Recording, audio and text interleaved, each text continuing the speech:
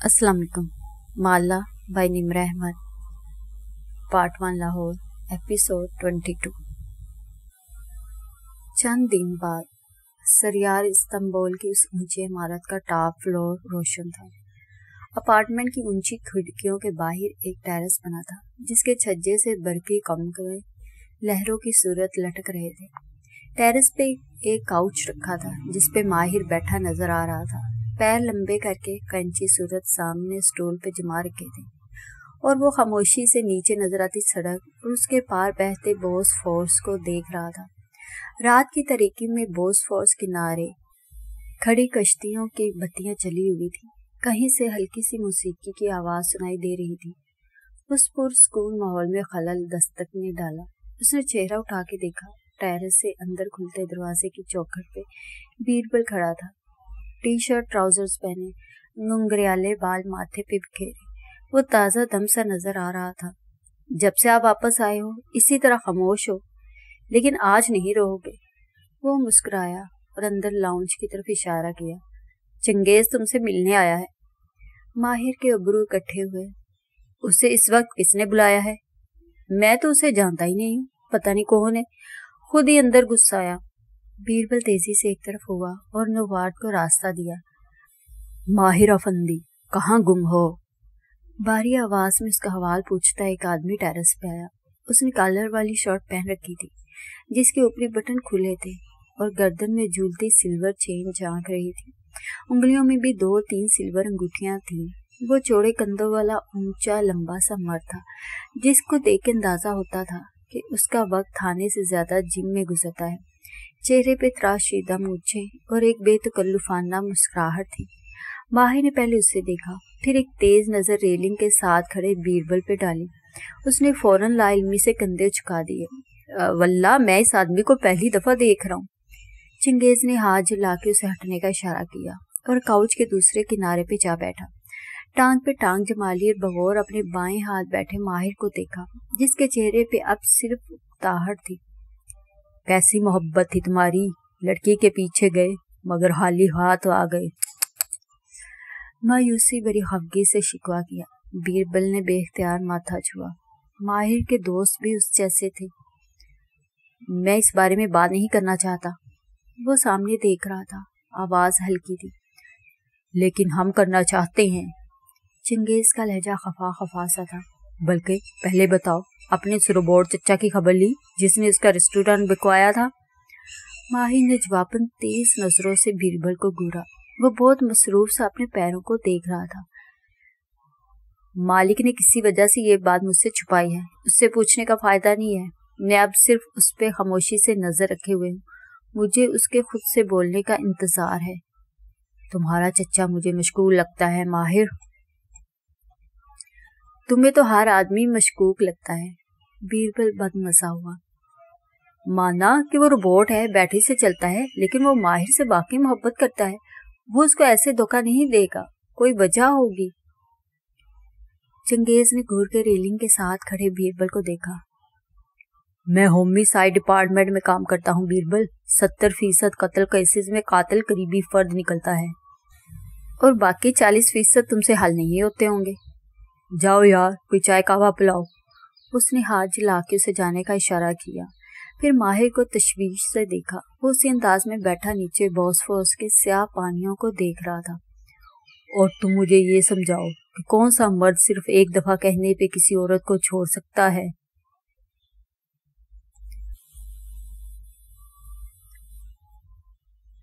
कौन सा मर्द किसी औरत के कहने पे उसे छोड़ के चला जाता है माला? वो सिक्की के शोर में सफूरा उसके कान के करीब ज़ोर से बोली थी, औरत छोड़ सकती है, लेकिन मर्द इतनी आसानी से पीछा नहीं छोड़ते। वो दोनों उस वक्त मेहंदी के एक फ़ंक्शन में मौजूद थी।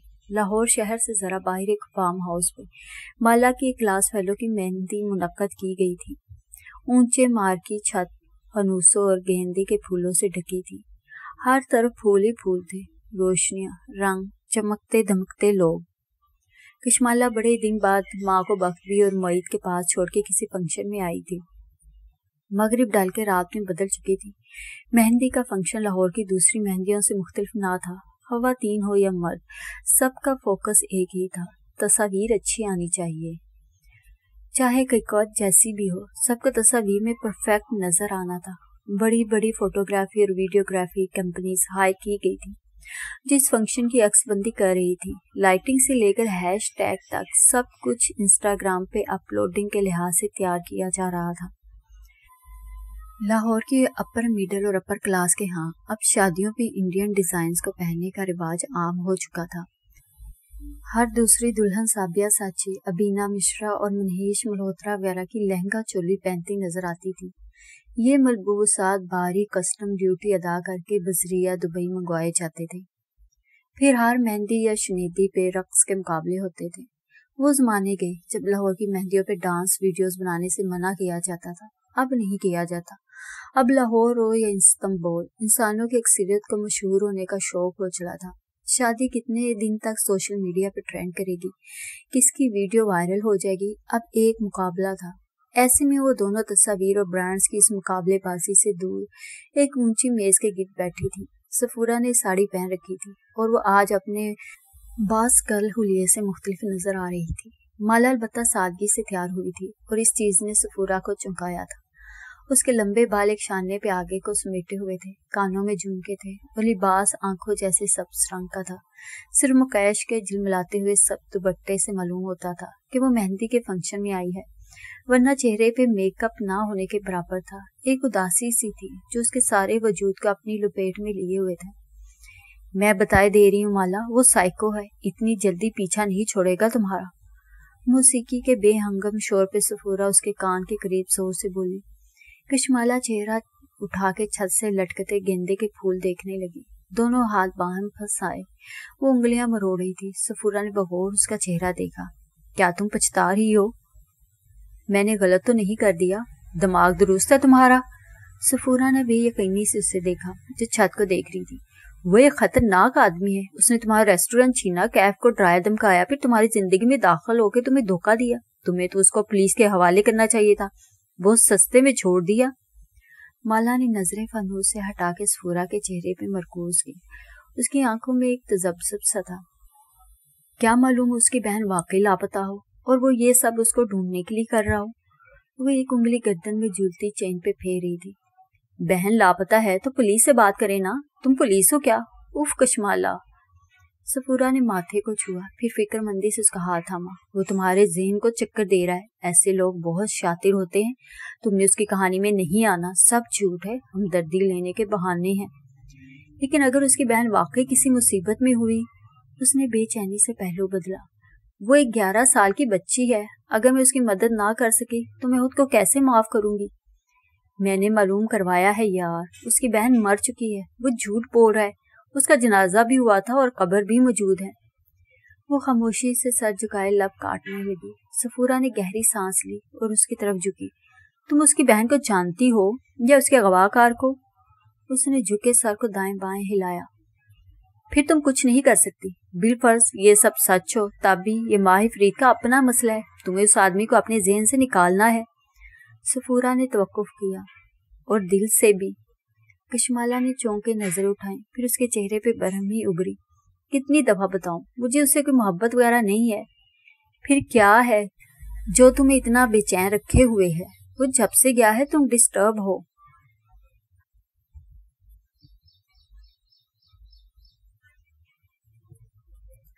तुम जब से आए हो डिस्टर्ब हो। हमसे बात करो यार।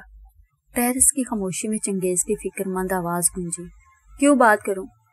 काउच पे नीम दराज माहिर हनूज बोस फार्स के किनारे खड़ी छोटी कश्तियों को देख रहा था। ताकि तुम्हारा दिल हल्का हो। हाँ और आधे शहर को खबर हो जाए। एक घूरती हुई नज़र सामने कावे की ट्रे रखते बीरबल पे डाली। वो तुम्हारे लिए परेशान है माहिर।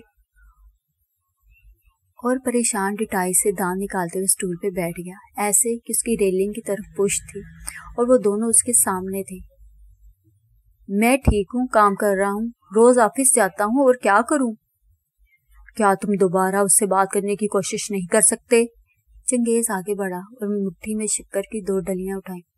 वो मेरी शक्ल तक नहीं देखना चाहती और वो उसके साथ खुश थी। शक्कर की डली उसके हाथ से छूट के सुरख चाय में जा गिरी। चंगेज के साथ साथ बीरबल भी चौंका। वो कौन? ज्याद? माहिर ने इस बात में गर्दन हिला दी। वो फिर से दरमियान में आ गया। बीरबल को जैसे बहुत बुरा लगा था। वो दरमियान से कभी नहीं जाएगा। कुछ था उसकी आवाज़ में। शिकस्त खोरदा सा टूटा हुआ। बीरबल और चंगेज ने एक दूसरे को देखा और फिर उसे। क्या वो उसको पसंद करती है? माही ने जवाब नहीं दिया। नीचे देखता रहा। उसकी नज़रों का महवर बनी कश्ती में दो लोग बैठे कुछ गुनगुना रहे थे। उनके लोक गीत की आवाज़ खामोश रात में तरन्नुम बिखेर रही थी। फिर तुम किसे पसंद करती हो? जियाद को? मौसीकी का बेहंगम शोर मजीद बुलंद हो रहा था। सफूरा को अपनी कुर्सी उसके करीब खींचनी पड़ी। हाँ शायद जियाद बहुत सच्चा और सादा इंसान है, वो सोच के बता रही थी। मैं उसके लिए वही कशिश महसूस करती हूँ, जो कोई भी लड़की ऐसे मर्द के लिए करती है, जिसके साथ वो वाकई शादी करना चाहती हूँ। उसका मुझसे मिलना, बात करना, मुझे सब अच्छा लगता है। और उस साइकोपैथ के लिए क्या महसूस करती हो? गर्दन में पड़ी चेन पे चलती उसकी उंगली रुक गई। आँखों में कुछ उभर के डूब गया। वो मेरा दोस्त था, मुहाफिज था। उसके साथ कशिश वाला एहसास नहीं था। बस कुछ मुख्तलिफ़ था। मैं उस पर एतबार करती थी। और वो मेरी हिफाजत करता था। और फिर ना एतबार रहा, ना हिफाजत। उस शाम पहली दफ़ा सफूरा को उसके चेहरे पे सुर्खी नज़र आई। बेबसी, गुस्सा। उसने मेरे साथ बहुत गलत किया।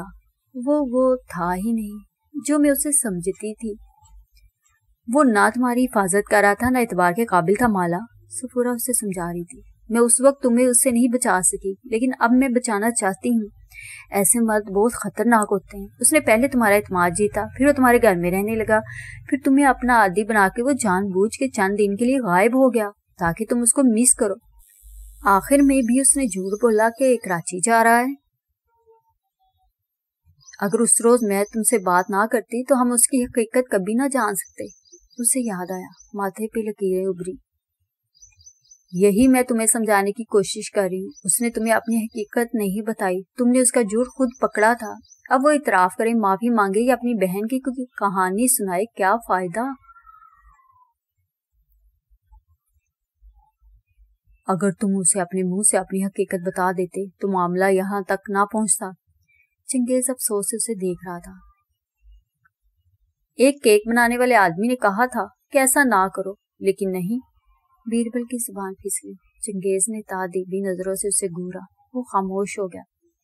मैं कब इनकार कर रहा हूँ कि मैंने गलत नहीं किया? मुझे अपनी गलतियाँ दुरुस्त करनी नहीं आती और उसे माफ़ करना नहीं आता।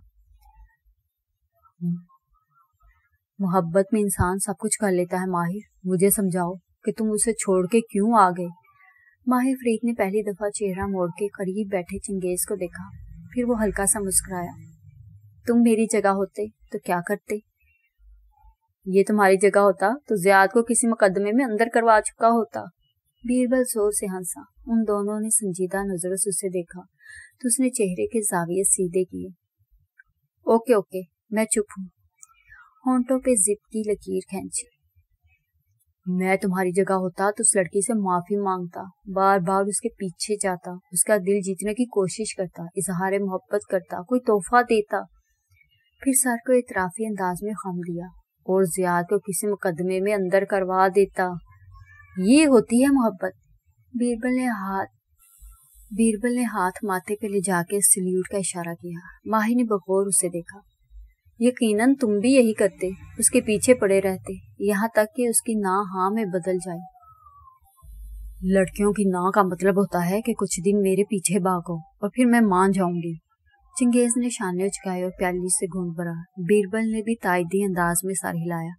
उसने बारी बारी दोनों के चेहरे देखे। किसने सिखाया है तुम्हें ये? क्या? यही कि ना का मतलब ना नहीं होता। फ़िल्मों ने? कहानियों ने? हम्म? माहिर ने पैर नीचे उतारे और ट्रे अपनी तरफ़ खिसकाई। फिर शीशे की कतेली से सुरख चाय अपनी प्याली में डालने लगा। मैंने हर जगह यही होते देखा है, दोस्त। शुरू में लड़कियाँ नखरे करती हैं, फिर मान जाती हैं। तुम्हारे पुलिस स्टेशन में होमिसाइड डिपार्टमेंट किस फ्लोर पे है? चौथे कभी दो फ्लोर नीचे जाओ असाल्ट और बैटरी डिपार्टमेंट में। तुम्हें वहाँ बहुत से ऐसे टॉक्सिक बॉय फ्रेंड्स और शोहर कैद मिलेंगे जिन्हें ना को हाँ में बदलने का खब था। वो चाय की धार प्याली में दे रहा था। वो दोनों बिल्कुल खामोशी से, से सुन रहे थे। जो मर्द औरत के ना कहने के बावजूद उसको हाँ में बदलने की कोशिश करते हैं वही टॉक्सिक पार्टनर्स बनते हैं। उसने गर्म प्याली उठाई और पीछे होकर बैठा, फिर टांग पे टांग जमा ली और मैं ऐसे मर्दों में से नहीं हूँ। लेकिन अपनी मोहब्बत के लिए कोशिश तो करनी चाहिए। कोशिश करने ही वापस गया था। कोशिश एक दफ़ा होती है या दो दफ़ा? बार बार ताकुब होता है।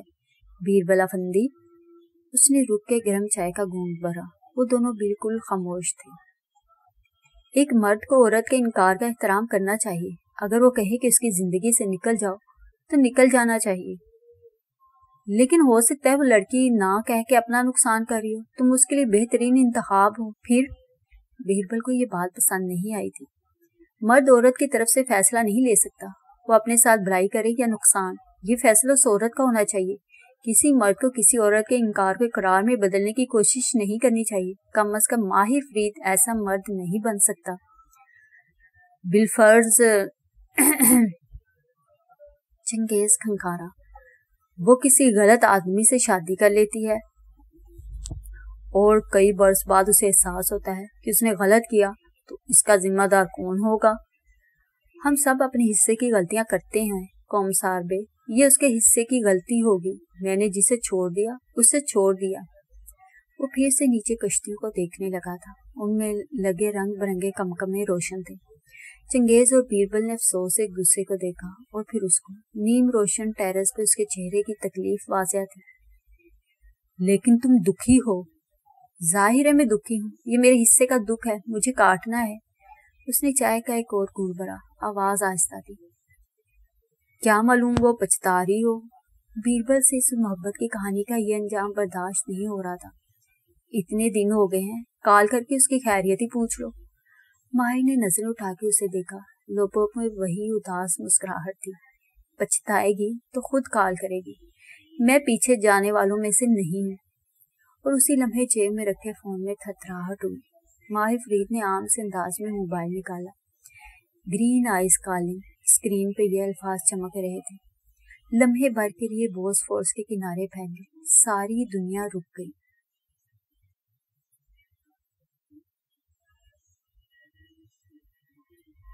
हाँ अब क्या फ़ायदा? वो मेहंदी की रौनक पे नज़रें जमाए बुड़बड़ाई। खुद से उसने कभी सच नहीं बोला। हमेशा झूठ कहा, बातें छुपाई।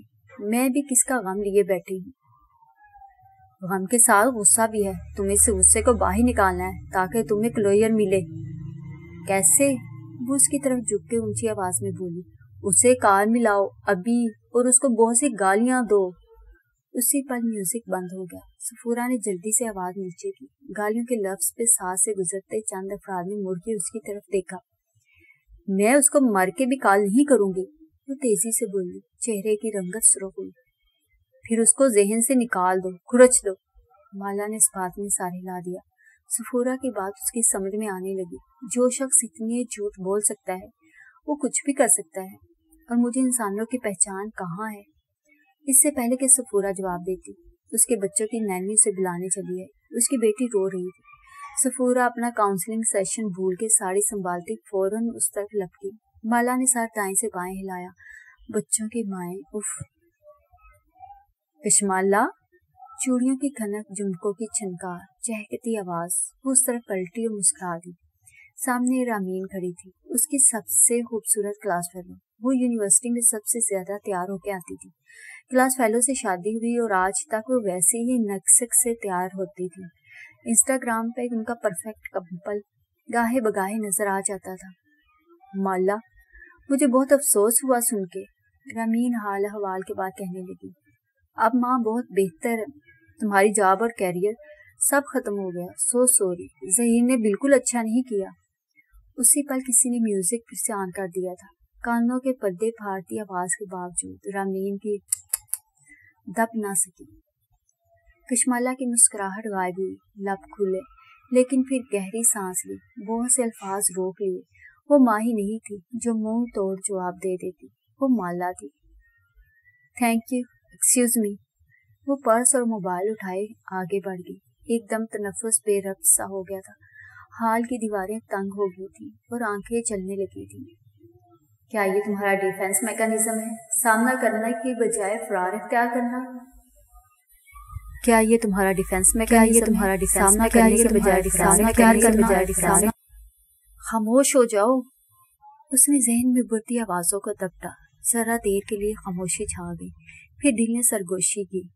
क्या वाकई ये तुम्हारा डिफेंस मैकेनिज्म है?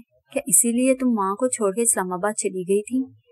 वो पेंसिल ही से चलती हुई मार्की के वाशरूम्स की तरफ़ आ गई। पहले एक बड़ा सा पाउडर रूम बना था, वहाँ कोई नहीं था। वो सिंह के सामने आ खड़ी हुई और दीवार गिर आईने में अपना चेहरा देखा। उसकी आँखें गुलाबी हो रही थी। मैं भी किसका गम ले रही हूँ? ऐसे शख्स का, जिसने मुझे जॉबलेस किया। सब उसकी वजह से हुआ है। कम आएगी का एहसास रामीन की नज़रें। सब, जैसे दिल में गड़ गया था, उसने नल खोला और हाथ नीचे किए ही थे। कि एकदम किसी ने उसको गर्दन से दबोच लिया। चीख कशमाला के हलक में रह गई। उसने बेख्तियार दोनों हाथ गर्दन पे रखे। वो एक बूढ़ा हाथ था, जिसकी नसें उभरी हुई थी और वो उसके गर्दन को ज़ोर से दबा रहा था, लेकिन वो हाथ नज़र नहीं आ रहा था। उसने चीखना चाहा, उस हाथ को अपने गर्दन से खींचना चाहा, लेकिन सारी हिम्मत खत्म हो चुकी थी। एक झटके से नादीदा हाथ ने उसकी गर्दन छोड़ दी। वो ज़ोर से उमदे मुँह नीचे जा गिरी। सर दीवार से लगा और लम्हे भर के लिए सारी दुनिया गोल गोल घूम गई। माँ माँ, वो सब दोनों हाथों मिली दीवार के साथ बैठती चली गई। तनफस तेज तेज चल रहा था। उसने गर्दन पे हाथ रखा। कुछ गीला सा महसूस हुआ था। माला ने हाथ ऊपर करके चेहरे के सामने किए। बसारत धुंधली हो रही थी। कि सर अभी तक चकरा रहा था। उसके हाथ में खून का नन्ना सा कतरा था। वो बदीक उठी और स्लैब का सहारा लेकर खड़ी हुई जो कंधा दीवार से लगा था, वो शदीद दर्द कर रहा था। सर के पीछे भी गुमर सा महसूस हो रहा था। उसने पलके चिपकाई और आईने में खुद को देखा। उसकी गर्दन सुरख हो रही थी। उस पर बाकायदा एक हाथ की उंगलियों का निशान था और उस पे कुछ और भी था। दरमियान में एक जगह नन्ना सा कट, जिससे दो तीन कतरे खून बहा था। उसने याद करना चाहा, कुछ नकीला सा छुपा था उसको। न जाने क्या था। माला ने नल खोला और पानी हाथों पे भरा। फिर उसे चेहरे पे डाला। जलती आँखों को कदरे सुकून मिला। फिर उसने दाएँ बाएँ देखा। वहाँ कोई नहीं था, लेकिन कोई था। वो तेज़ी से दरवाजे तक आई, हैंडल घुमाया। वो लॉक था। कुशमाला मुबीन का चेहरा सफ़ेद पड़ने लगा। उसने ज़ोर से नाप घुमाया। वो चामद रहा। कोई है? हेलो? वो ज़ोर ज़ोर से दरवाज़ा बजाने लगी। पाउडर रूम की दीवारें तंग होती महसूस हो रही थी। गर्मी, हबस, घुटन, इतने शोर के बावजूद किसी को उसकी आवाज़ सुन लेनी चाहिए थी, लेकिन कोई उस तरफ़ नहीं आया।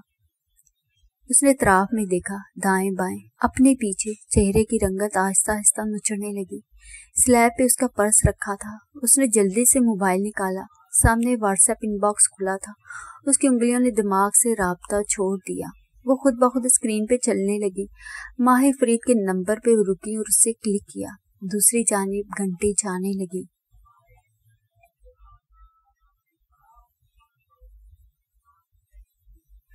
वो मोबाइल स्क्रीन को बचते हुए देख रहा था और वो दोनों उसे एक्सक्यूज मी वो तेज़ी से मोबाइल लिए उठा और अंदर लाउंज में आया। उसी पर मोबाइल खामोश हो गया। महज दो घंटियाँ ही हुई थी। उसकी उंगलियों ने बिना सोचे समझे कार बैग का बटन दबाया और फ़ोन कान से लगाया। सारी दुनिया साकत हो चुकी थी। उसको सिर्फ़ अपने दिल के धड़कने की आवाज़ आ रही थी। काल आगे से काट दी गई थी। बेरहम से टून टून बचने लगी। माहिर के तनिया साफ़ ढीले पड़ गए। उसने हाथ नीचे गिरा दिया। खैरियत? उसे खामोश चेहरे के साथ बाहर आते देख के चंगेज ने पूछा। माहिर ने सर झटका। शबनम थी, शायद गलती से काल की थी। उसकी आवाज़ पस्त थी। उनको देखे बिना वो वापस अपनी कुर्सी पे बैठा। चाय की प्याली को दोबारा नहीं छुआ। वो दोनों आपस में कोई और बात करने लगे। माहिर खामोशी से मोबाइल स्क्रीन को देखे गया। वो नन्ना सा अल्लाह अब खामोश था। ये मैं क्या कर रही हूँ? अभी दो घंटियाँ ही गई थी कि उसने जल्दी से कार काट दी, फिर घबराहट से माथे को छुआ। ये मुझे क्या हो गया था? एकदम फ़ोन जगमगाने लगा। उसी नंबर से कॉल आ रही थी। उसने जल्दी से उसे काट दिया। क्या सोचता होगा वो? इतने धड़ल्ले से कहा था, उसे नहीं बुलाऊँगी। फिर? उफ, माला, उफ। उसके उसान अब बहाल हो रहे थे। उसने जल्दी से सफूरा को काल मिलाई। तवील घंटियाँ चाने लगी, लेकिन जवाब निदार है। वो एक दफ़ा फिर दरवाजे तक आई और ज़ोर से उसको बजाया हथेलियाँ अब सुरख पड़ के दर्द करने लगी थी। कोई क्यों नहीं आ रहा था? शाह शायद उसने आईने में खुद को देखा। गर्दन की सुर्खी हनूज बरकरार थी। शायद कोई उसकी आवाज़ को दबा रहा था। कोई अभी भी उसके साथ वहाँ मौजूद था। उसने जल्दी से सर पे दुपट्टा लिया और चेहरा दोनों हाथों में छुपा के तेज तेज आयतल कुर्सी पढ़ने लगी। खौफ, बेबसी, अल्फाज गटमट हो रहे थे। दिल बुरी तरह धड़क रहा था। क्लिक की आवाज़ आई और दरवाज़ा खुला। एक लड़की अपना बच्चा लिए मसरूर से अंदाज में अंदर दाखिल हो रही थी। इससे पहले कि वो उसे देखती, कश्माला अपना पर्स उठाए तेज़ी से बाहर लपटी। हाल में आके उसने चंद गहरे गहरे सांस लिए। इर्द गिर्द बहुत से लोग थे। कैमरों के फ्लैश लाइट, हँसी की आवाज़ें, वह अपने पैरों पे गोल गोल घूमी। वो अब भी उसके ताकुब में था। वो शख्स जिसके पास उसकी तस्वीर थी। माही फ्रेड के पास एक एल्बम था। उसमें आपकी तस्वीर थी। कैफ जमाल का कहा गया फिक्रा जहन में गूंजा। मैं जिस आदमी का काम लिए बैठी हूँ, वो सामिल के साथ मुलविस है। वो जेरे लब उड़ाई बार बार उसके जराइम याद करने पड़ते थे, वरना दिल उनको बुला देने के लिए तैयार था। वो तेज कदमों से खारजी रास्ते की तरफ़ बढ़ गया। उसे घर जाना था, उसे मालूम था, उसे घर जाके क्या करना है? आमिल उसे डरा के क्या पैगाम देना चाह रहा था? कशमाला मुबीन की समझ में आ गया था।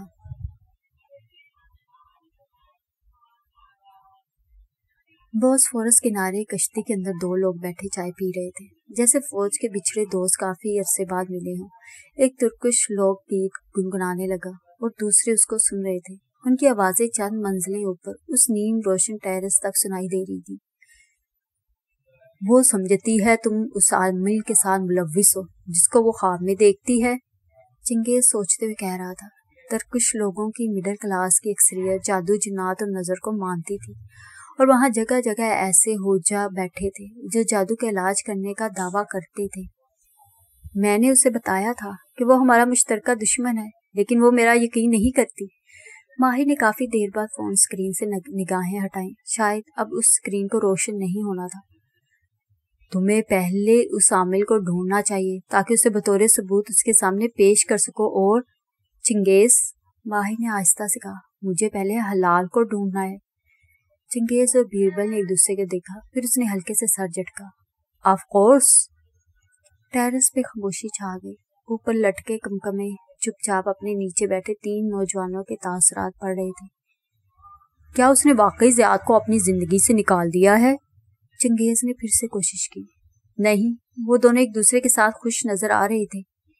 वो मोबाइल की बुझी हुई स्क्रीन देख रहा था। अपनी रकाबत एक तरफ़ रख के बताओ। वो चंगेज ने बीरबल को देख के दोहराया। टाल, डार्क और हैंडसम कैसा आदमी है? हैंडसम नहीं है वो। माही ने ज़ोर से मोबाइल मेज पे रखा। उसका मूड खराब हो गया था। बीरबल ने मुस्कुराहट रोकने के लिए लबों पे हाथ रख लिया। उसके अलावा कोई बुरी बात? माही ने नीचे खड़ी कश्ती को देखा। वो किनारे पे पानी के साथ हल्का हल्का से झूल रही थी। बस, वो मुझे पसंद नहीं।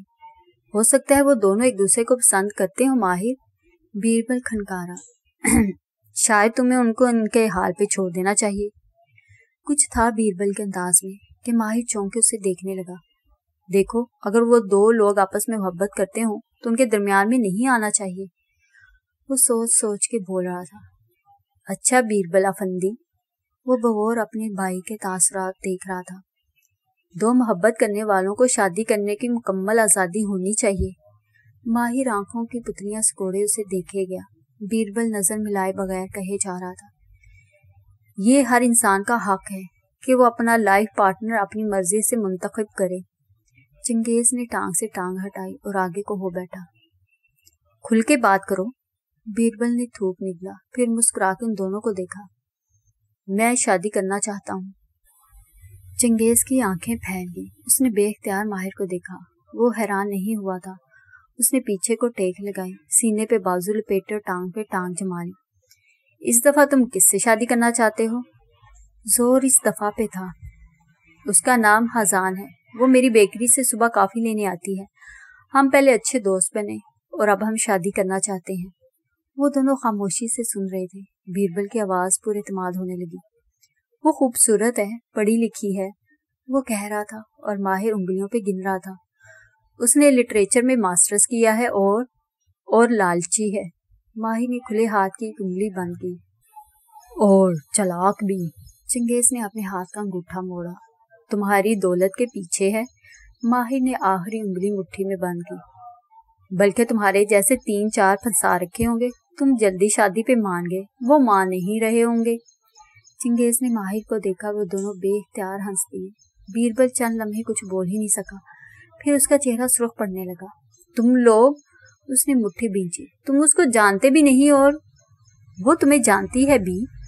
माहिर टांग पे टांग जमाए पैर चिल्ला रहा था। क्या उसे मालूम है कि तुम्हारे पास तुम्हारे बाप की दौलत अगले चार साल तक नहीं आएगी?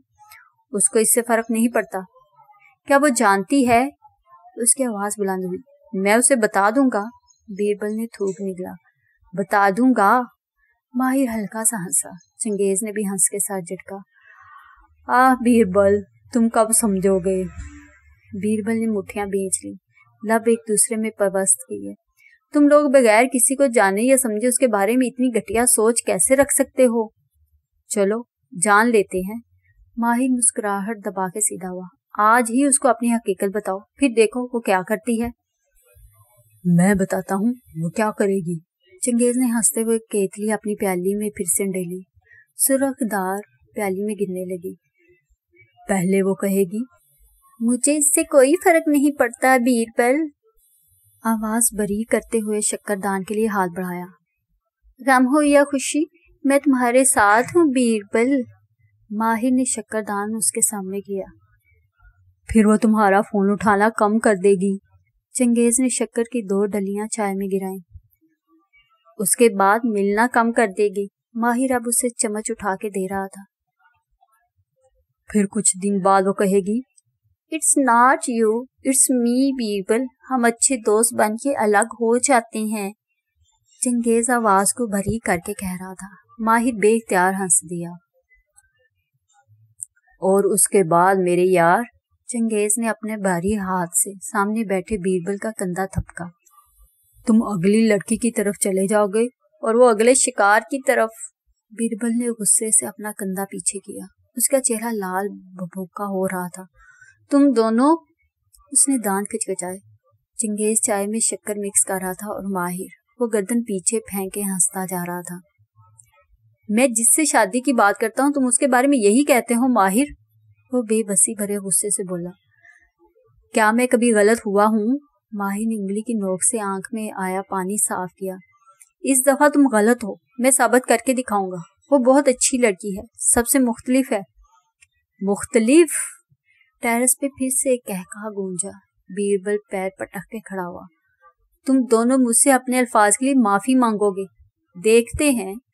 माही ने मुस्कुरा के कंधे चुकाए बीरबल चंद लम्हे से घूता रहा फिर उसकी आँखें चमकी। अल्लाह करे, कशमाला इस हैंडसम जिया से शादी कर ले। माहिर की मुस्कुराहट बरकरार रही बीरबल ने बेबसी से चंगेज को देखा। और, अल्लाह करे, तुम्हारी बीवी किसी के साथ भाग जाए। चंगेज ज़ोर से हंसा। हा हा हा मेरी तो कोई बीवी ही नहीं है। क्योंकि वो किसी के साथ भाग चुकी है? वो चिल्ला के बोला और धार से दरवाज़ा खोल के अंदर चला गया। उन दोनों का कह कहा फिर से गूंजा था। फैजी हानम किचन फ्रिज में कुछ रख रही थी। बीरबल गुलाबी चेहरा लिए उनके सामने रुका। अगर सुबह मैं अपने कमरे में मुर्दा पाया जाऊँ तो उन दोनों को मेरे जनाजे पे मत आने देना। फैजी हानम ने चेहरा उठा के परेशानी से उसे देखा। मगर कल तो मेरी छुट्टी है। उफ! वो पैर पटक के अपने कमरे की तरफ़ बढ़ गया। दार से दरवाज़ा बंद होने की आवाज़ बाहर टेरेस तक सुनाई दी। चंगेज की मुस्कुराहट अब कम हो चुकी थी। वो पुरसोच नज़रों से टेरेस की खिड़की को देख रहा था। चार साल बाद उसको अपनी दौलत मिल जाएगी माहिर। तब ये उन लालची औरतों से कैसे बचेगा? चार साल बाद बीरबल ने तीस साल का हो जाना था। उनके बाप की वसीयत के मुताबिक अगर वो अपनी कंपनी को उनके मुख्त किए गए मैार तक नहीं ले जा सकता, तब भी तीस बरस की उम्र में उसको उसका ट्रस्ट फंड मिल जाएगा। तब की तब देखेंगे।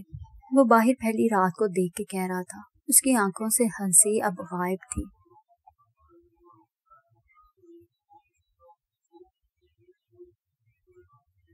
पोर्च में कार खड़ी करके वो तेज़ी से बाहर निकली। लोहे के बैरूनी जीने सामने थे। वो हील से बदयक जीने फलांगते ऊपर आए।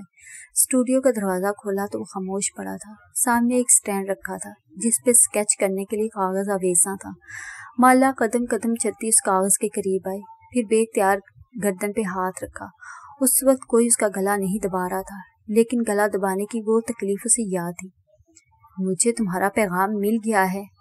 उसकी आँखें भीगने लगी। वो आगे बढ़ी और स्केच बुक का सफ़ा फाड़ दिया। मैं तुम्हारा स्केच नहीं बनाऊँगी।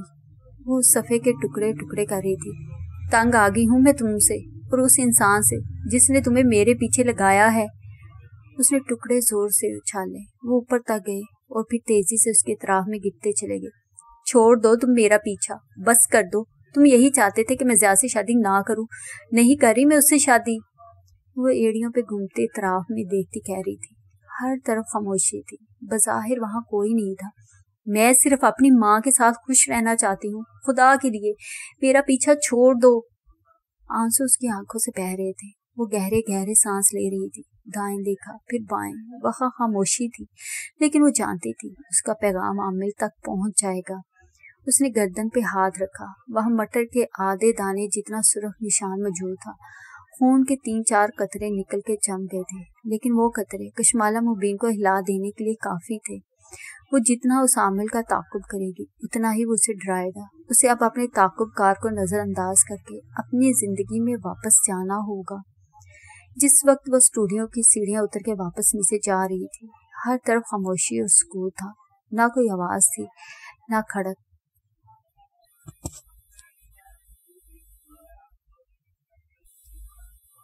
अपनी काल कोठरी में मौजूद सरकार ने अपने सामने ज़मीन पे रखी तस्वीरें देखी। एक मुस्कुराहट उसके बूढ़े चेहरे पे बिखर गई। उसकी समात में किसी नादीदा मखलूक की आवाज़ गूंज रही थी। फिर उसने समझ के सर हिला दिया।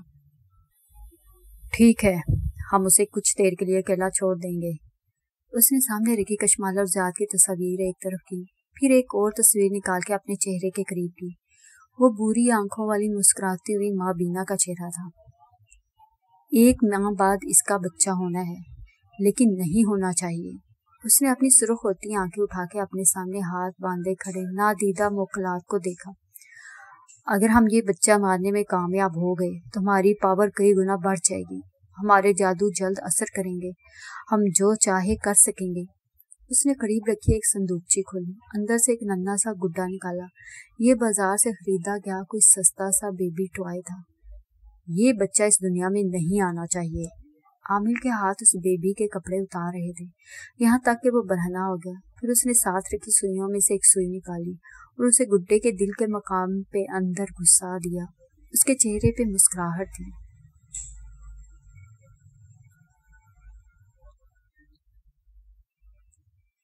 चिली बेग के उस सफ़ेद घर के लॉन्च में माही बैठी थी। सर पे दुपट्टा लपेटे, वो तस्बीह हाथ में लिए हुई थी।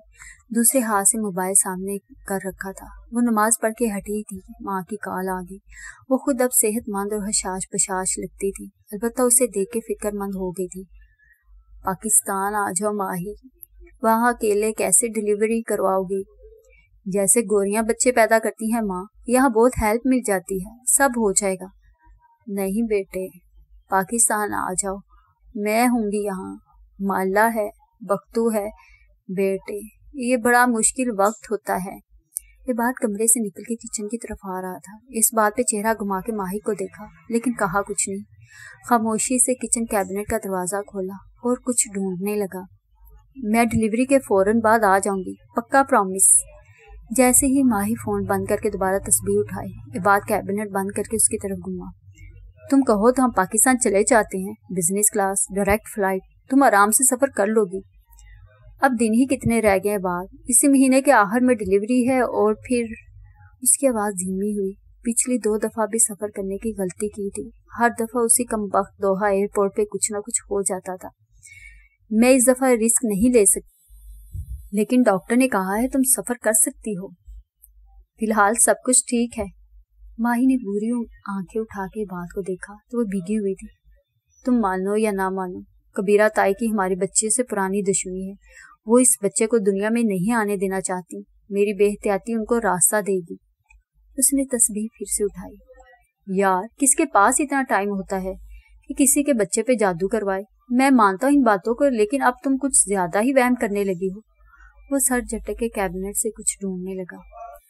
मैं तुमसे ज़्यादा पाकिस्तान जाने की ख्वाहिश रखती हूँ। मेरे दिल से पूछो। माँ जब से बीमार हुई, मैं उनसे नहीं मिली। उनकी खिदमत का मौका मुझे नहीं मिला। माला और मुईद को मिला है, लेकिन जैसे ही बेबी पैदा होगा, धड़कते दिल से कहा इनशाला हम पहली फ़्लाइट से पाकिस्तान जाएँगे। फ़ौरन नहीं जा सकेंगे माही पहले बेबी का एन आई सी ओ पी बनेगा। तीस पैंतीस दिन लगेंगे। हम नाइक को बनते ही चले जाएँगे। उसने खुद को तसली दी। वैसे भी माँ अब ठीक है, तब तक वो मजीद बेहतर हो जाएँगी। इबाद अपनी मतलूबा चीज़ तलाश करके वहाँ से चला गया और माही खामोशी से तस्वीर पढ़ती रही। दफ्तन फ़ोन फिर से बजा नंबर देख के उसने गहरी सांस ली थी। माथे पे बल पड़ गए। मैं कई दिन से आपको मैसेज कर रही हूँ। आप कहाँ थे माहिर बे? बिज़ी था। आज वक्त मिला है। खैरियत। मुझे माला ने बताया है कि आपने उसका रेस्टोरेंट खरीदा था। आपने मुझे ये नहीं बताया। उसकी आवाज़ में खफगी थी। वो धीरे से हंसा। तुम भी अपनी बहन की तरह मुझ पर शक कर रही हो? शक नहीं कर रही? उसकी आवाज़ धीमी हुई। लेकिन सवाल करना मेरा हक बनता है। मुझे इस बारे में इल्म नहीं था माबीना। मैं वो कंपनी नहीं चलाता। मालिक चलाता है। मालिक कौन? माही के अबरू मशकूक अंदाज में इकट्ठे हुए। फ़ोन स्पीकर पे करके उसने इंस्टाग्राम खोला। मेरा चचा। उसने एक लिबनानी ग्रुप को ओशियन खरीद के दिया है। हमारी कंपनी हर रोज ऐसी खरीदो फरोख्त करती है। क्या आपने मालिक से पूछा कि उसने ऐसा क्यों किया? उसका अंगूठा स्क्रीन को स्क्रॉल कर रहा था। नहीं, अभी इसका वक्त नहीं आया। ये सफ़ेद बालों वाला है मालिक। तुम्हें कैसे मालूम हुआ? वो हैरान हुआ। आपने उसे इंस्टा पे फॉलो किया हुआ है। दुनिया बहुत छोटी है माहिर बे, और ये उंगलियों में समा जाती है। वो हल्का सा हंस दिया। जॉब कर लो लड़की, वरना सारा दिन घर में फारिग यही काम करती रहोगी। मुझे शौक नहीं है जाप का। मैं अपनी गर्दारी में खुश हूँ। अच्छा? तड़क के बोली, वो खामोश रहा तो उसने आवाज़ धीमी की। मालिक ने माला का रेस्टोरेंट क्यों बिकवाया?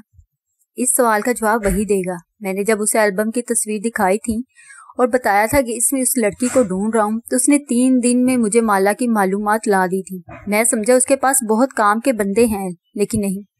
मालिक माला को पहले जानता था, वो उसे मिल चुका था। कब कहा मुझे नहीं मालूम, लेकिन उसने मुझे होटल में माला से मिलने के लिए बीरबल को भेजा, खुद नहीं गया। वो नहीं चाहता था कि माला उसको पहचाने। यानी अब्दुल मालिक फरीद को छुपा रहे हैं। फिर उसको याद आया, कबीरा ताई के नए अमल के बारे में कुछ मालूम हुआ? माही ने बेजार भरी सांस खाज की। इसकी क्या ज़रूरत है? हम कितने आमलों को पकड़ेंगे? तुम अपना ईमान मज़बूत रखो। कुछ नहीं होगा तुम्हारे बच्चे को। माही की पलके भीगने लगी। मुझे फिर से बुरे ख्वाब आने लग गए हैं। हर चीज़ मकतूब है, माबीना, मकतूब।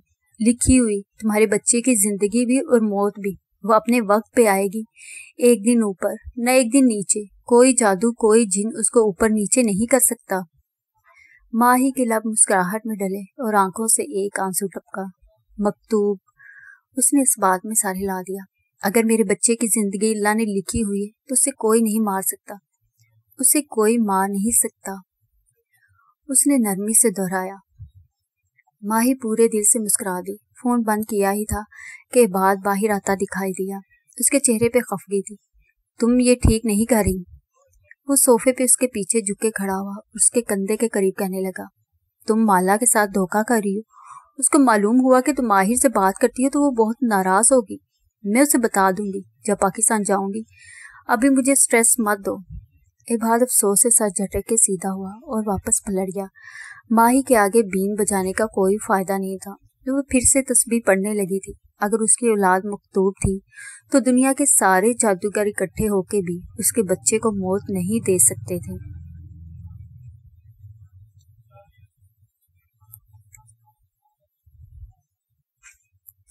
उस तरह कोठड़ी में ज़मीन पे चौकड़ी मारे आमिर सरकार के सामने आज भी बहुत सी तस्वीर रखी थी। धागे, मुख्तलिफ़ किस्म की रोशनाइयाँ, लेकिन फ़िलहाल उसकी तवज्जा हाथ में पकड़े गुड्डे पे थी। उसकी आँखों में चमक थी, उंगली में एक लंबी नोकीली सुई थी। सरकार के हाथ उसकी नोक सुरख रोशनाई में डबो डुबो के गुड्डे पे लगा रहे थे। पहले उसके सीने के दरमियान स्लीप का निशान बनाया, फिर बारी बारी हर जूब पे उसका नकीला कलम काटे लगाता गया। माँ के पेट में बच्चे का एक एक अजूब आस्ता आस्ता ज़ाया हो जाएगा। सरकार की बुड़बड़ाहट जारी थी। यहाँ तक कि जब बच्चा पैदा होगा, वो मरा हुआ होगा। उसकी आवाज़ में जोश था। बच्चों पे किए जाने वाले जादू सरकार को सबसे ज़्यादा पसंद थे।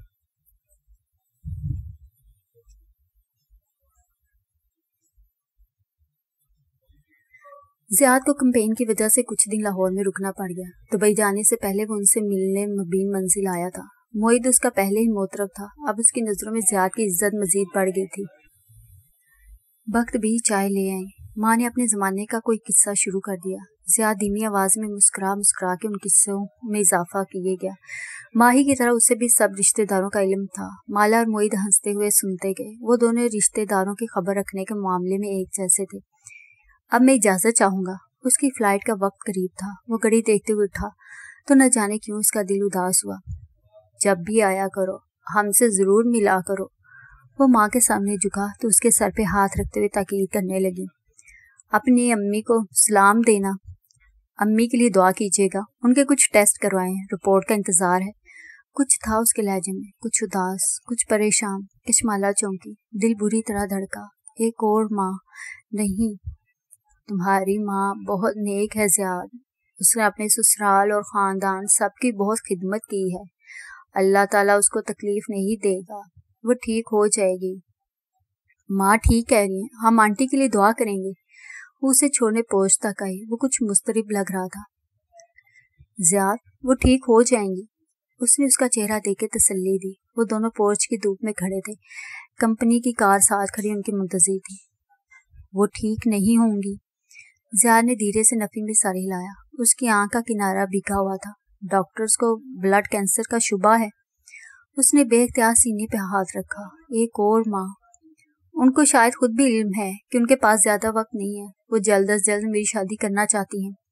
वो धूप में आँखों की पुतलियाँ स्कोड़े कार को देखते हुए कह रहा था माओ के लिए कुछ ना कुछ करना पड़ता है ज़्यादा उनकी बात मान ले। कोई अच्छी लड़की मिले तो शादी कर ले।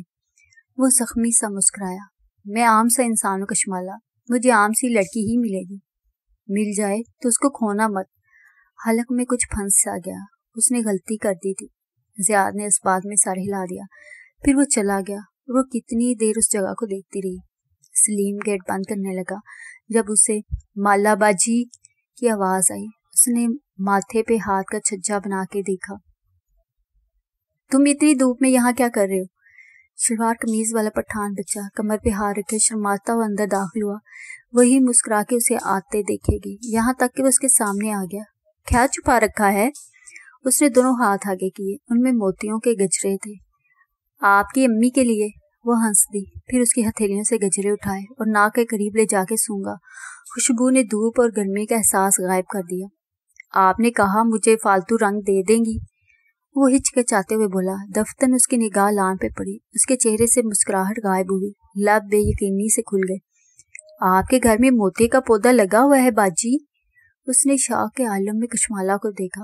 वो बेख्तियार हंस दी हाँ लेकिन तुम फिर भी मुझे रोज गजरे ला के दोगे। बच्चे ने एक मायूस नज़र अपने गजरे पे डाली।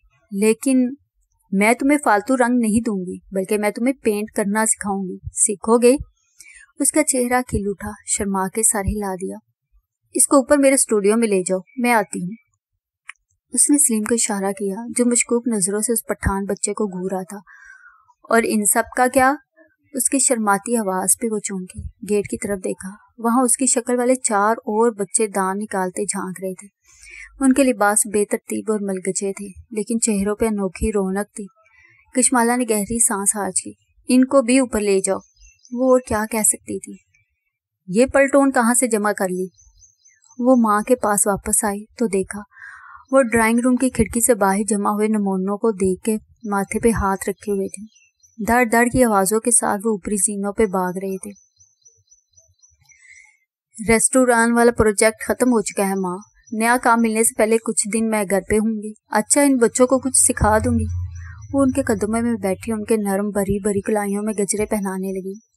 माँ ने मुस्कुरा कर उन फूलों को देखा, फिर अपनी बेटी के झुके सर को। वे नहमाग से गजरे की हुक बंद कर रही थी। माही से कहो पाकिस्तान आ जाए। वो वहाँ केले कैसे डिलीवरी करवाएगी? उनकी हर रोज यही तकरार होती थी। वो सफ़र करने से डरती है माँ। वैसे भी सितंबर के आखिर में डिलीवरी होगी और बेबी का नाइकोप अक्टूबर के आखिर तक बन जाएगा।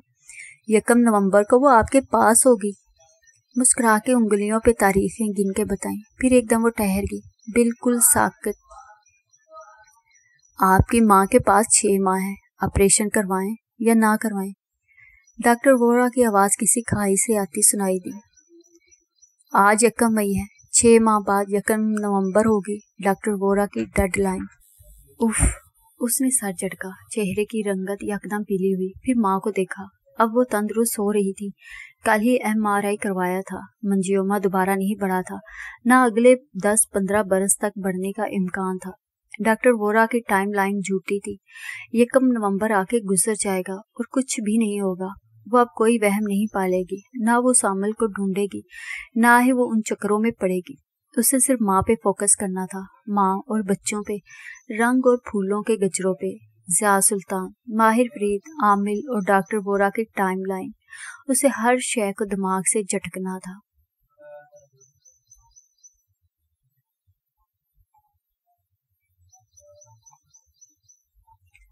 हर चीज़ कलम से शुरू होती है। कशमाला के स्टूडियो के ब्लाइंड हटे हुए थे। फर्श पे बच्चे नीम दायरे की सूरत में बैठे थे।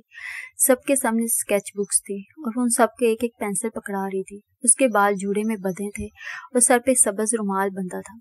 सबसे पहले कलम को बनाया गया था। इस्तंबुल में कैफ के कॉन्फ्रेंस रूम में बहुत से लोग जमा थे। उनके सामने दर्जनों नक्शे फैले थे। वो सरबराही जगह पे खड़ा झुके कलम से नक्शे पे एक जगह दस्तक दे रहा था। सामने बैठे अफराद खामोशी से सारे हिलाते उसको सुन रहे थे। फिर कलम से एक किताब लिखवाई गई थी, लोहे महफूज। कबीरा बेगम अपने बेडरूम में खड़ी थी। दो मुलाजमा एक लंबे बैग में मुकैद ड्रेस सामने लटका रही थी।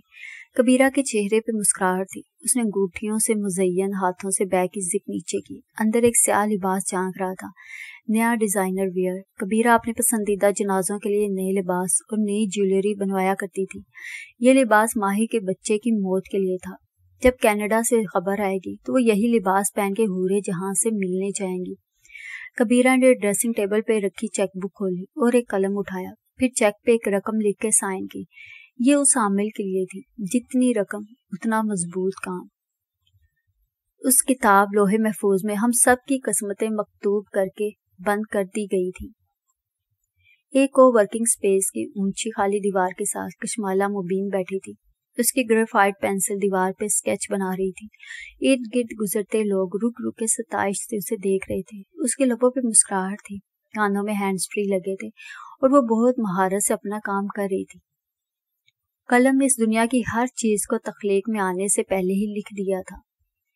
माहिर के ऑफ़िस में नीम अंधेरा सा था। खिड़की के साथ एक बड़ी मेज का इजाफा कर दिया गया था, जहाँ एक सुरख मारत के तीन तरह के मॉडल रखे थे। वो अपनी कुर्सी पे बैठा था, सामने एक ग्राफिक टैबलेट रखा था जिसपे वो महारत से डिजिटल पेन के ज़रिए लकीरें खींच रहा था।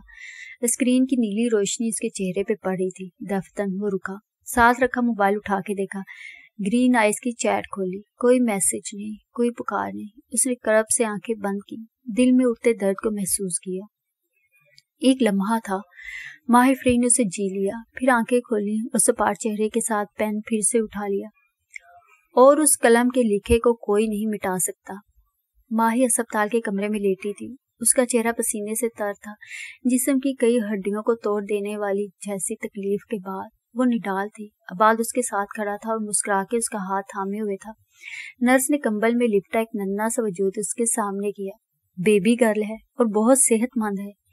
मकतूब वो बुड़बड़ाई फिर वो एकदम चेहरा हाथों में छुपा के रोने लग। गई वो हंस भी रही थी, वो रो भी रही थी। इंसान को कलम बहुत देर से मिला था। उसे अदरीस सलाम ने सबसे पहले इस्तेमाल करना शुरू किया था। आमिर सरकार के हाथ जाफरानी स्याही में डूबे कलम को गुस्से से उस गड्ढे पे रगड़ रहे थे। बेजान गुड्डा साकर था। फिर उसने ज़ोर से कलम को दो हिस्सों में तोड़ दिया। उसका चेहरा सुरख बबोका हो रहा था। दफ़ा हो जाओ तुम सब। एक काम नहीं कर सके तुम, एक बच्चा नहीं मार सके। उसने गुड्डा उठाया और पूरी कुत से दीवार पे दे मारा। आमिर ने चेहरे पे आया पसीना, आस्तीन से साफ़ किया। फिर अपने बूढ़े झुरियों सदा हाथों को देखा। उसके हाथ कप कपा रहे थे। एक बच्चा हम नहीं मार सके। एक कमज़ोर बच्चा। उसका सर शिकस्त होदगी से दाएँ बाएँ हिल रहा था। बहुत से इंसानों ने कलम के लिखे को बदलने की कोशिश की है, लेकिन आज तक कोई कामयाब नहीं हो सका। माँ सोफे पे बैठी मुस्कुरा रही थी। साथ मौजूद माइला ने मोबाइल उनके सामने पकड़ रखा था। स्क्रीन पे माही और अब्बास नज़र आ रहे थे। माही हँसते हुए गुलाबी कंबल में लिपटी नन्ही सी बेबी उनको दिखा रही थी। हमने इसका नाम हूरे एन रखा है। हूर जैसी आँखों वाली। हूर एन माँ मुस्कुराते हुए बच्ची की सब्ज आँखों को देख रही थी। वो उनका अक्स थी। उनके हाथ में दो नुकीली सिलाइयाँ थी, जिन पे वो महारत से उंगलियाँ चलाते हुए ऊन का गोला बुन रही थी। माही की बेटी की गुलाबी स्वेटर के घर एक के बाद एक चढ़ रहे थे। कलम के लिखे को कदर कहते हैं और कदर को कोई शय नहीं बदल सकती। ना कोशिश, ना जादू, ना बदुआ दफ़ा हो जाओ तुम नाकाम आमिर, फ्रॉड। मैं तुम्हें इतना पैसा खिलाती रही और तुम एक बच्चे को नहीं मार सके। कबीरा फ़ोन पे चीखते हुए कह रही थी, बीबी, हमने चालीस दिन तक चिल्ला काटा लेकिन कबीरा ने ज़ोर से मोबाइल दीवार पे दे मारा। वो दीवार के साथ टेक लगाए फर्श पे बैठी थी।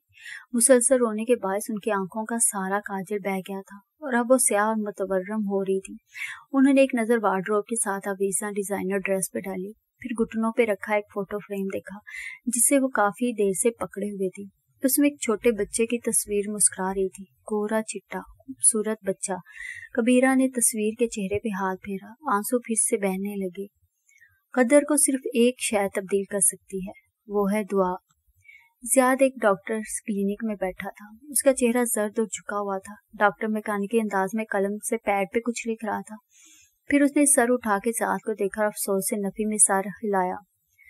ज़्यादा से ज़्यादा एक साल है इनके पास। एक आँसू जियाद की आँख से निकला और उसके सामने चेहरे पे गिरता गया। उसने इस बात में सर हिला दिया। एक साल। वो बुड़बुड़ाया। दुआ नीचे से ऊपर जाती है और कदर ऊपर से नीचे आती है। जो ज़्यादा ताकतवर, वो फतह उसकी होती है। कशमाला नरमी से माँ का हाथ थामे खड़ी थी। वो सहज सहज के कदम उठा रही थी। वो मुस्कुरा के उन्हें अगला कदम रखने के लिए कह रही थी। फिर उसने उनका हाथ छोड़ दिया। माँ ने बेचैनी से उसे देखा। कुछ नहीं होगा। अब आप खुद चलेंगे। बगैर सहारे के वो चंद कदम पीछे हटी। माँ ने झिझकते हुए कदम रखा, फिर दूसरा। बिना सहारे के वो धीरे धीरे अपने पैरों पे चलने लगी। माला मुस्कुराते हुए उन्हें अपने करीब आते देख रही थी। उसकी आँखों से आँसू बह रहे थे और लब मुस्कुरा रहे थे। कलम के लिखे का एक वक्त होता है। उस वक्त से ना पहले कुछ मिलता है, ना बाद में। हर इंसान को अपना वक्त पूरा करना होता है। माहिर इबाद के सफ़ेद लाउंज में काट रखा था, जिसमें कंबल में लिपटी नन्ही गुड़िया सो रही थी।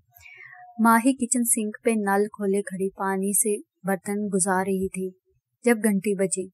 उसने हाथ पहुँचे और पर्दा हटा के ग्लास डोर खोला। सर्दी की एक लहर अंदर आई। कॉरियर बॉय ने एक कलम उसकी तरफ़ दस्तखत के लिए बढ़ाया। उसने ना समझी से उसके टैब पे दस्तखत किए। फिर अपने नाम आया अल्फाफा लिए अंदर आई। कप कपाते हाथों से उसे चाह किया। अंदर एक नाइकोप था। पूरे एन इबाद का नाइकोप माई ने बेख्तियार चीख रोकने के लिए मुँह पे हाथ रख लिया। आँखों से आँसू बहने लगे। हूर हूर।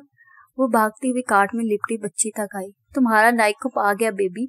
अब हम पाकिस्तान जा सकते हैं। ओ मेरे अल्लाह, हम माँ के पास जा सकते हैं। उसकी आँखों से जारों कितार आँसू बह रहे थे। उसने एक नज़र दीवार पे लगे कैलेंडर को देखा। आज 28 अक्टूबर थी। उसने पहले से उनतीस की शाम की फ़्लाइट बुक कर रखी थी। कनाडा से जर्मनी जर्मनी से कतर और कतर से पाकिस्तान। फिर वही दोहा एयरपोर्ट आएगा दरमियान में। लेकिन खैर, यकम नवंबर की सुबह वो पाकिस्तान में होगी। वो एक साल से माँ से नहीं मिली थी, लेकिन उनकी बीमारी के ये आखिरी छह माह, छह साल पे मुही थे। अब बिल्लाहर तकलीफ़ खत्म होने वाली थी। वह अपनी माँ से मिलने जा रही थी। हर इंसान उस कलम के लिखे का पाबंद है। उसे अपना मकतूब वक्त पूरा करना ही है।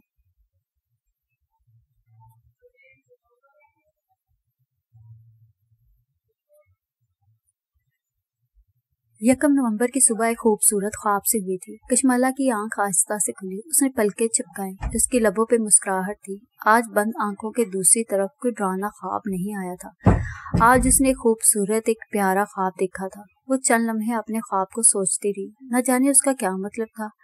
फिर फजर की अजान पे उसकी त्वजा भटकी। बेड पे हरकत हुई तो उसने कोनी के बल पहलू बदला। माँ पैर बिस्तर से उतारती दिखाई दे रही थी। साथ ही वो सो के उठने की दुआ पड़ रही थी। जा गई। उसने मुस्कुरा के उनकी पुश्त को देख के पूछा। वो साइड टेबल का सहारा लेकर उठ खड़ी हुई। हाँ लेकिन आज मैं फजर के बाद सोऊँगी। उन्होंने घड़ी देखी, माला मुस्कुरा दी। माँ फजर के बाद नहीं सोती थी, लेकिन आज सुबह माँ ही ने पहुँचना था। वो उसके इस्तकबाल के लिए पूरी तरह से ताज़ा दम होना चाहती थी। सोच रही हूँ, अब तुम्हारा कमरा छोड़ के अपने कमरे में मुंतकिल हो जाऊँ। जब वो बाथरूम से वज़ू करके निकली तो यूँ ही कहने लगी, क्यों? तुम डिस्टर्ब होती होगी ना बेटे। वो गीले आस्तीन नीचे कर रही थी। वो बेख्तियार हंस दी छह माह बाद ख्याल आया कि मैं डिस्टर्ब होती होंगी। साफ़ साफ़ कहें, आपकी फेवरेट बेटी आ रही और आप उसके कमरे में शिफ्ट होना चाहती हैं। माला जानती थी, माही के सामने मोहित और वो बहुत पीछे चले जाएँगे। वो ऐसी ही थी, आएगी और छा जाएगी। वो महज मुस्कुरा दी, फिर सफ़ेद दुपट्टा सर पे लपेटा और बेड के किनारे पे बैठी। दुपट्टा खानों के पीछे अरसा, चंद सफ़ेद बाल बाहर को झांकने लगे। माला ने उनके बालों की सफेदी को देखते हुए, ओह, में लब गोल किए। माही के आने से पहले आपका हेयर डाई लगा दूँगी, वरना वो बहुत बोलेगी। कानों को बारी बारी छुआ। माँ ने हल्के से हंस के सर झटक दिया। उनको नमाज़ पढ़ते छोड़ के वो बाहर चली गई। बाहर अभी अंधेरा था। जब वो वापस आई तो हाथ में मोती के फूलों की टोकरी थी। माँ ने सलाम फेरा और चेहरा उठा के देखा। टेबल लैंप की रोशनी में उनकी सब आँखों के गिर झुरियाँ साफ़ दिखाई देती थी। माही दोहा पहुँच गई होगी। वो सासा जेरे लबस्कार पड़ी थी। जी, कह रही थी, बहुत कोशिश की कि कहीं और से अच्छी फ़्लाइट मिल जाए, लेकिन उसका नापसंदीदा एयरपोर्ट फिर से आ गया दरमियान में। माला ने मोती के फूल उनकी साइड टेबल पर रखे। मैं अब सोऊँगी बेटे। वो सीधी होने लगी थी। जब माँ ने अपना भारी जुड़ियों सदा हाथ उसके हाथ पे रखा, उसने मुस्कुरा के उन्हें देखा। वो भी मुस्कुराई। कुछ कहने के लिए लब खोले, फिर खामोश रही और अपना हाथ हटा दिया। न जाने क्या कहने लगी थी। यूँ ही अपना ख्वाब याद आया। आप आराम करें, मैं आज आपके लिए नए कपड़े निकलवाती हूँ। माही को अपनी माँ टिप टॉप पसंद है, हेयर डाई भी कीजिएगा और मेकअप भी। वो अलमारी की तरफ़ आई उसको खोल के उनके कपड़े देखने लगी। जब से माँ बीमार हुई थी, मईद और माला की सारी तवज्जा उनकी सेहत पे थी। खुराक, दुआएँ, उनके नए कपड़े बहुत बनवाए थे। खैर, माही आ रही है ना, वही काम करेगी ये। माँ, आपके लिए चाय बनवा दूँ? मैं सोऊँगी बेटे। उन्होंने बाजू माथे पे रखे रखे कहा। वो नींद में जा रही थी। साथ ही वो जेरे लब की इसकार पड़ रही थी। माला चाहती थी। वो माही के आने से पहले का वक्त जल्द अज जल्द काटना चाहती थी। वो सो गई और उनके सांस की आवाज़ कमरे में गूंजने लगी। तो वो बाहर चली आई। बाहर एक नई सुबह तलू हो रही थी। आज यकम नवंबर थी और हर चीज़ ठीक थी। उसके सारे खौफ, सारे वाहने पीछे रह गए थे। उसकी ज़िंदगी की कहानी बिलाखर मुकम्मल थी। क्या था? जो उसमें एक मर्द नहीं था, उसे मर्द नहीं चाहिए था, उसे अपनी माँ चाहिए थी।